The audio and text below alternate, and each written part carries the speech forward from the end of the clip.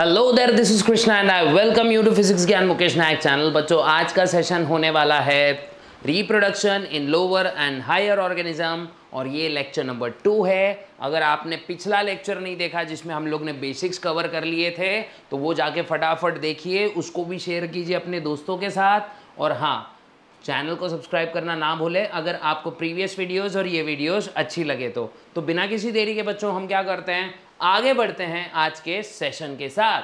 तो देखो, सबसे पहले आज जो हम लोग देखने वाले हैं, सबसे पहले क्या देखेंगे बच्चों? Anther structure of anther anther क्या होता है? एंथर क्या करता है? एंथर किस लिए होता है? ठीक है? पूरा मेल रिप्रोडक्टिव पार्ट हम लोग इसके भीतर कवर करने की कोशिश करेंगे। ठीक है?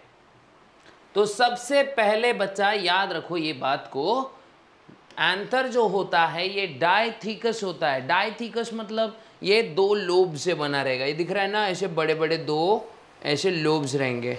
ठीक है? और ये होता है डायथिकस स्ट्रक्चर ठीक है? क्योंकि दो लोब्स होंगे और इस लोब में चार लोब्यूल्स होंगे और इसीलिए एंथर को टेट्रास्पोरेंजिएट कहा जाता है। तो मतलब अगर एंथर को हम ऐसे ऊपर से देखेंगे ना बच्चों, इसके अंदर अपने को ऐसे चार लोब्यूल्स दिखेंगे। क्या दिखेंगे? चार लोब्यूल्स दिखेंगे। और इन चार लोब्यूल्स में क्या होता है? पता है क्या एक बहुत बड़ा सीक्रेट होता है? अरे भाई, ज़्यादा कुछ नहीं होता है पोलन ग्रेन्स ही होते हैं। ठीक है, ज़्यादा कुछ नहीं होता है। ओके तो चार लोब्यूल्स दिखेंगे बच्चा। ठीक है, समझ रहा है कि आपको? अच्छे से समझ रहा होगा तो यस बोलो बच्चों। कमेंट बॉक्स में यस बोल देना। नहीं समझ रहा होगा तो बोलना, सर थोड़ा सा एक बार रिपीट हो जाने दो। रिपीट होने देंगे अपन। ठीक है?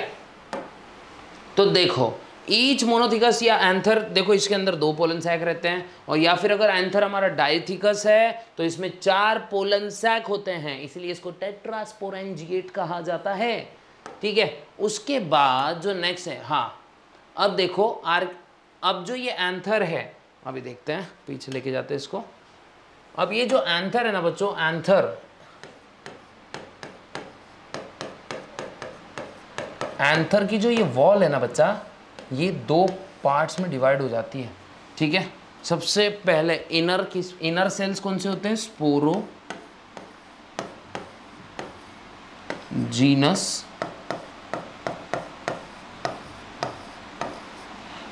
टिश्यू या फिर स्पोरोजिनस सेल्स ठीक है? स्पोरोजिनस सेल्स और बाद में होते हैं पराइटल सेल्स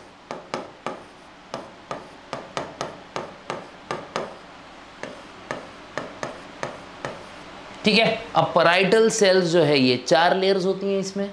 है ना? सबसे पहले तो वो कौन सी? सबसे पहले हमारी होती है एपिडर्मिस एपिडर्मिस उसके बाद होता है एंडोथीशियम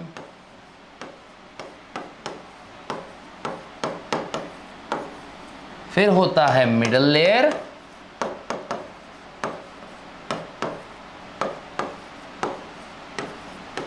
और लास्ट में होता है टैपेटम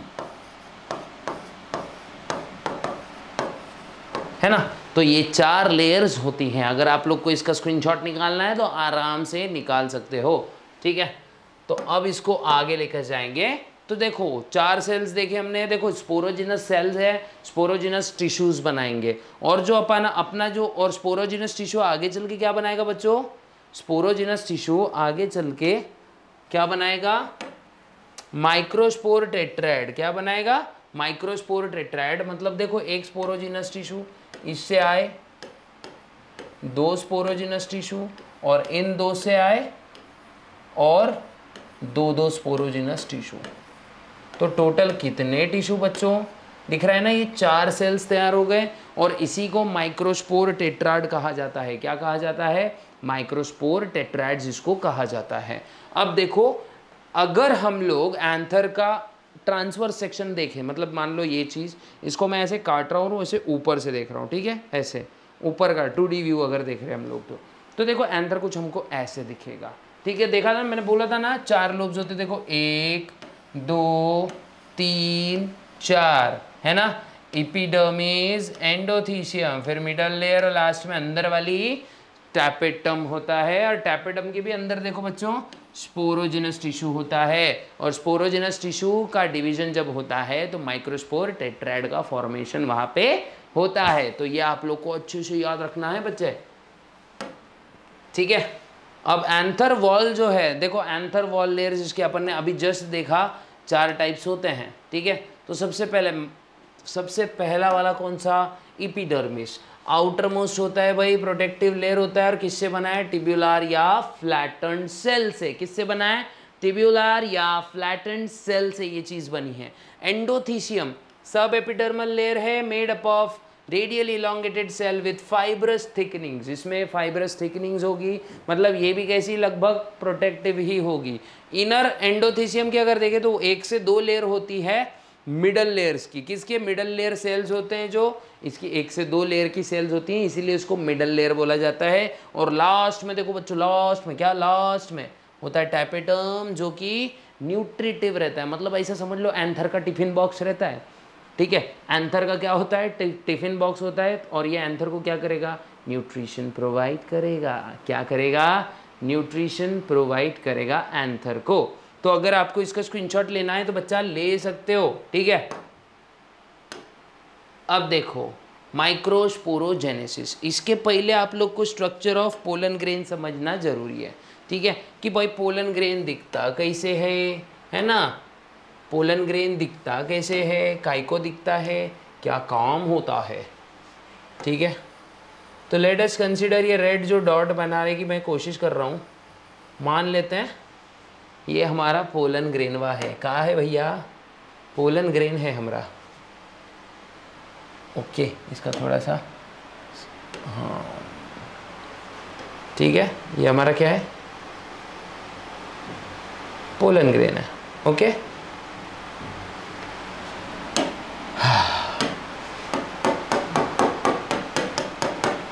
अब इसमें आपको बच्चों दो टाइप के सेल्स दिखाई पड़ने वाले हैं, ठीक है? दो आपको सेल्स दिखेंगे।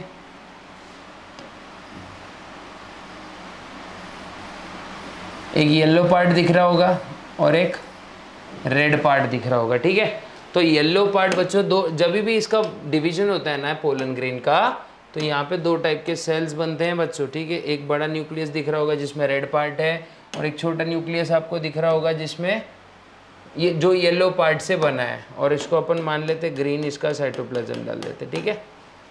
ओके तो ये देखो, ये क्या है हमारा? ये पोलन ग्रेन है ओके तो पोलन ग्रेन की आउटर लेयर भी बना रहा हूँ मैं, देखो अभी यहाँ पे।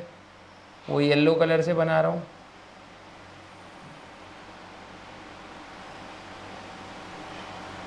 ठीक है? ये मान लेते ये हमारा पोलन ग्रेन है ओके आउटर लेयर को क्या बोलते हैं बच्चों? एग्जाइन क्या बोलते हैं? एग्जाइन इनर लेयर जो ये वाइट कलर की दिख रही होगी आपको, वो होती है इंटाइन है ना? एग्जाइन इंटाइन अब ये जो छोटे छोटे गैप्स है ना बच्चों, ये होते हैं जर्म पोर क्या होते हैं ये? जर्म पोर होते हैं। यहीं से पोलन ट्यूब बाहर को निकलेगी। ठीक है? फिर ये जो छुटकाऊ सा सेल दिख रहा है ना बच्चा ये जो छुटकाऊ सा सेल है, इसको बोलते हैं हम लोग जेनरेटिव सेल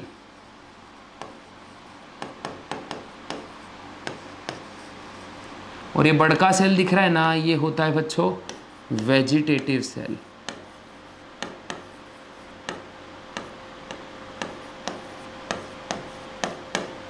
दिख रहा है क्या? जनरेटिव सेल वेजिटेटिव सेल ठीक है? तो ये कुछ अपना टिपिकल पोलन ग्रेन ऐसा दिखाई पड़ता है। अब जो एग्जाइन है ना, ये इसके ऊपर ना एक टफ कवरिंग होती है। ये एक टफ सब्सटेंस से बना रहेगा। है ना? जो कि बहुत ज़्यादा रेजिस्टिव रहेगा, ताकि पोलन ग्रेन बचे रह सके। और ये टफ सब्सटेंस होता है बच्चा स्पोरो पोलेनिन। क्या होता है? स्पोरोपोलेनिन, इस टाइप के ये कंपोनेंट से बना रहेगा। अगर स्क्रीनशॉट निकालना चाहते हो बच्चे तो निकाल सकते हो, ठीक है? अब हम आगे बढ़ सकते हैं। तो अब देखते हैं, भाई माइक्रोस्पोर मदर सेल सबसे पहले जो माइक्रोस्पोर मदर सेल है, ये मियोटिकली डिवाइड होके चार हैप्लॉइड सेल्स बना देती है। कितने हैप्लॉइड सेल्स बना रही बच्चे? चार हैप्लॉइड सेल्स बना रही है, ये याद रख ला ठीक है? चार हैप्लॉइड सेल देखो, ये मैं बता देता हूँ यहाँ पे लिखकर, ठीक है? ये अपना माइक्रोस्पोर मदर सेल से ये वाइट कलर की मान लेते हैं, ठीक है? ये माइक्रोस्पोर मदर सेल है। ओके? ये माइक्रोस्पोर मदर सेल है। जब भी ये चीज़ डिवाइड होती है तो कितने सेल्स तैयार होते हैं बच्चों? हैप्लॉइड देखो फ़र्स्ट इसका देखो, ये क्या है? मान लेते हैं अपन लोग ये फोर एन है, ठीक है? उसके बाद में फोर एन मतलब यहाँ पे क्या हो रहा है? ये टू एन के दो जोड़ियाँ बन रही हैं। फिर इनका और मियोसिस होगा, ठीक है? और ये फिर ऐसे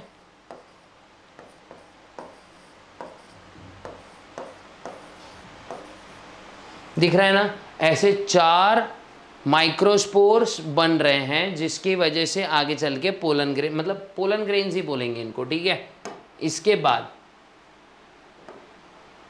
हाँ माइक्रोस्पोरोजेनेसिस अब यही प्रोसेस देख रहे हैं हाँ?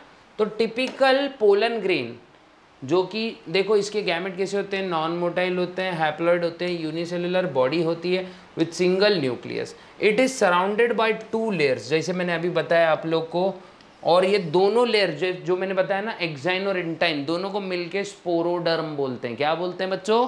स्पोरोडर्म तो स्पोरोडर्म की जो सबसे आउटर लेयर होती है, वो कॉम्प्लेक्स होती है नॉन बायोडिग्रेडेबल होती है कैसी? नॉन बायोडिग्रेडेबल मतलब इसको कोई भी ख़राब नहीं कर सकता और वो एक सब्सटेंस से बनेगी जो कि होता है स्पोरोपोलेनिन और इसको हम एक्साइन कहते हैं। क्या कहते हैं? एक्साइन कहते हैं। क्या कहते हैं संजू भाई?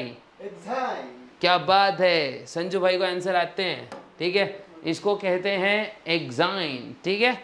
उसके बाद देखो इट में अब देखो, जो इंटाइन होता है, ये स्मूथ होता है सबसे पहले, ठीक है? अब उसके बाद अगर मैं देखूँ धीरे धीरे हम क्या करते हैं, अब आगे बढ़ते हैं एग्जाइन ये बहुत ही एट सम प्लेसेस देखो एग्जाइन नहीं किया, बहुत ही ऐसा पतला सा होता है। और इन्हीं प्लेसेस को हम बोलते हैं जर्म पोर जैसे आप लोग को यहाँ पे दिख रहा होगा बच्चों, ये दिख रहा है ना, ये गैप्स दिख रहे कि ये, इसके अंदर ये जो गैप्स थे, यहाँ से देखो पोलन ट्यूब बाहर आ सकती है। अगर ये जर्म पोर किसी पोलन ग्रेन में एक ही है तो इसको यूनिपोरेट कहा जाएगा। क्या कहा जाएगा? यूनिपोरेट और अगर ये पोलन जर्म पोर तीन है तो इसको ट्राइपोरेट कहा जाएगा। क्या कहा जाएगा? ट्राइपोरेट कहा जाएगा। तो अब देखो बच्चों, यहाँ पे देखो स्पोरोडर्म या फिर जर्म पोर बोलेंगे। तो देखो, अब ये जो है जर्म पोर जो है इसमें से पोलन ट्यूब बाहर को आती है। क्या होता है? पोलन ट्यूब इसी के थ्रू बाहर आएगी और जनरेटिव सेल को लेकर आएगी। अब जैसे जनरेटिव सेल नीचे नीचे एग के तरफ़ आएगा, तब यही जनरेटिव सेल का माइटोटिक डिवीज़न होगा और दो non motile haploid male gametes तैयार हो गए रहेंगे, ठीक है? ये आप लोग को अच्छे से ध्यान में रखना है। अब इसके बाद की जो इनर लेयर है ना बच्चों, उसको क्या बोलते हैं हम लोग? इंटाइन क्या बोलते हैं? इंटाइन कहा जाता है। और जो कि सेलुलोज और पेक्टिन से बनी रहती है, ये इंपॉर्टेंट है किससे कौन सी चीज़ बनी है, ये आपको बहुत अच्छे से याद रखना है, ठीक है? तो ये बनी रहेगी सेल्यूलोज से, ठीक है? अब देखते हैं आगे की ओर। पोलन ग्रेन्स जो है, ये मेल गैमेटोफाइट का बिगिनिंग होता है। बिगिनिंग मीन्स मतलब अब यहाँ से बनने वाले हैं मेल गैमेट्स ठीक है? फिर अब देखो, जब भी मैंने अभी जस्ट आपको बोला कि जब भी पोलन ग्रेन नीचे जाएगी स्टाइल के थ्रू एग तक तो क्या हो जाएगा? माइटोटिक डिवीज़न होगा और उस वजह से देखो, अभी पहले तो पोलन ट्यूब जाने से पहले दो सेल्स बनेंगे, देखो।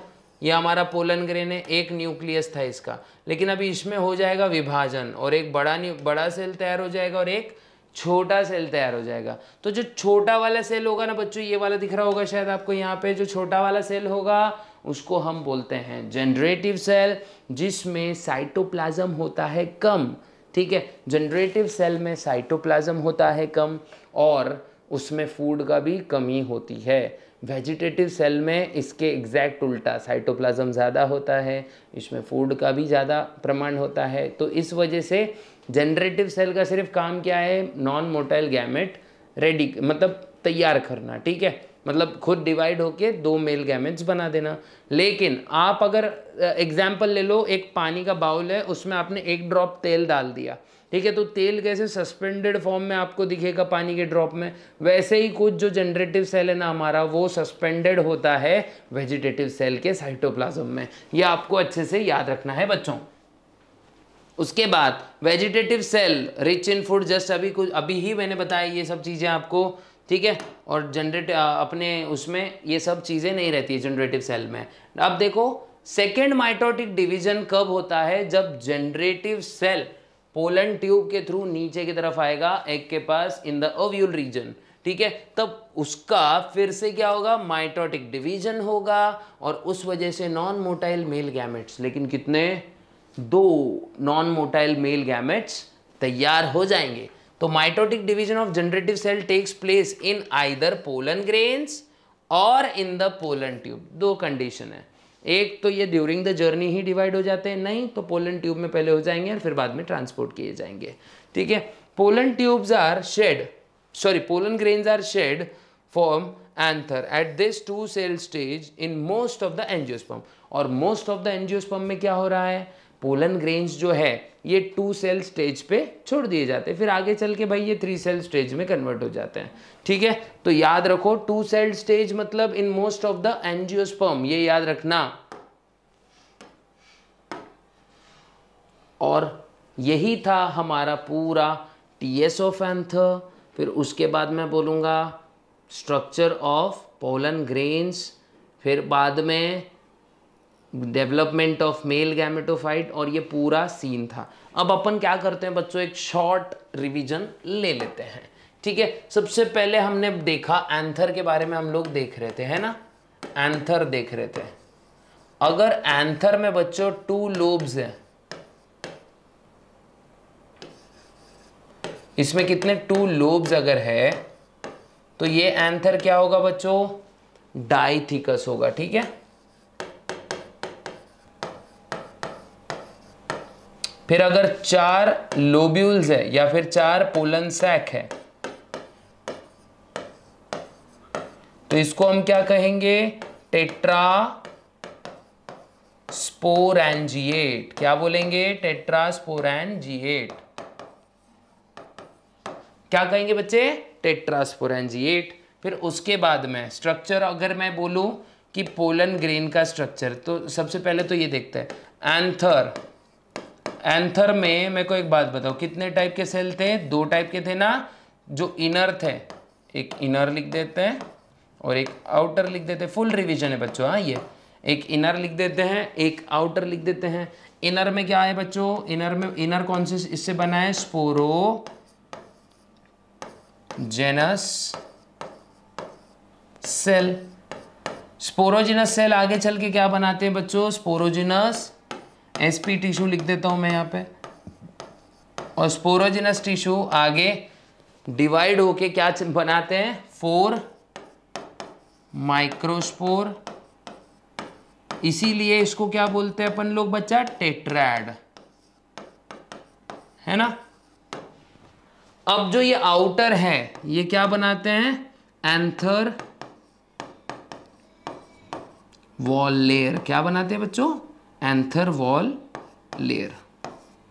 अब ये एंथर वॉल लेयर जो होती है ना बच्चों इसके चार टाइप्स होते हैं। कितने हैं? चार। तो अंदर से बा, सॉरी बाहर से अंदर की तरफ़ हम लोग वन बाय वन लेयर को देखते जाएँगे। तो सबसे बाहर की लेयर कौन सी होती है? इपीडर्मिस फिर उसके अंदर कौन सी होती है? एंडोथीशियम फिर उसके बाद में मिडल लेयर उसके बाद में होती है मिडल लेयर और लास्ट में कौन सी होगी बच्चों? टैपेटम कौन सी होगी? टैपेटम टैपेटम को याद रखना है आपको. न्यूट्रिशन देती है. क्या देती है? न्यूट्रिश न्यूट्रिटिव लेयर होती है. एंथर का टिफ़िन बॉक्स होगा, उसको पूरा न्यूट्रिशन प्रोवाइड करने का काम टैपेटम का होता है, ठीक है? यहाँ तक हमने देखा। फिर उसके बाद देखते हैं बच्चों, उसके बाद देखते हैं, ठीक है? उसके बाद हमने देखा structure of pollen grain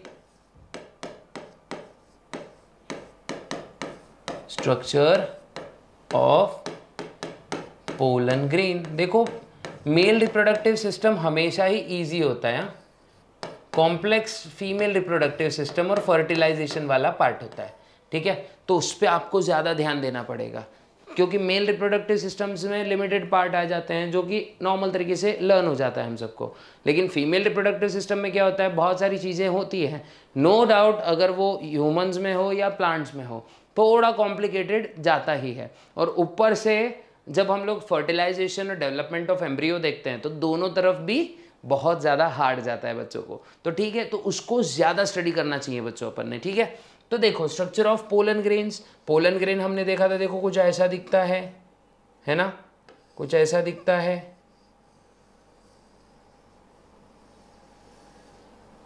outer layer को क्या बोले थे बच्चों हमने? एक्साइन एक्साइन किससे बना है? स्पोरो पोलेनिन उसके बाद इनर लेयर क्या होता है बच्चों? एंटाइन क्या? इंटाइन ये किससे बना है? सेल्यूलोज एंड पेक्टीन है ना? उसके बाद में देखो, अंदर अंदर तो आपको पता है क्या रहता है। लेकिन चलो फिर भी मैं बता देता हूँ। ये अपना जनरेटिव सेल और ये वाला बड़ा सेल जो है अपना वेजिटेटिव सेल। तो उसके बाद में जो लार्जर वन है, देखो, लार्ज सेल इसको क्या बोलते हैं? Vegetative cell. वेज सेल लिख देता हूँ मैं।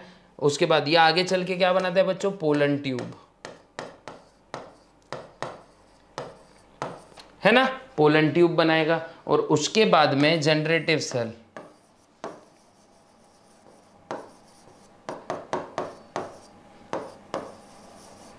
है ना? Generative cell. और ये आगे चल के क्या बनाता है बच्चों? Haploid non motile male gamete ठीक है? और ये था पूरा का पूरा आज का सेशन अगर आपको समझ में आ गया रहेगा तो बिल्कुल चैनल को लाइक शेयर सब्सक्राइब कर दें। मिलते हैं ऐसे ही नॉर्मल और बेस्ट तरीके की वीडियो के साथ नेक्स्ट सेशन में। तब तक के लिए गुड बाय गुड लक जय हिंद।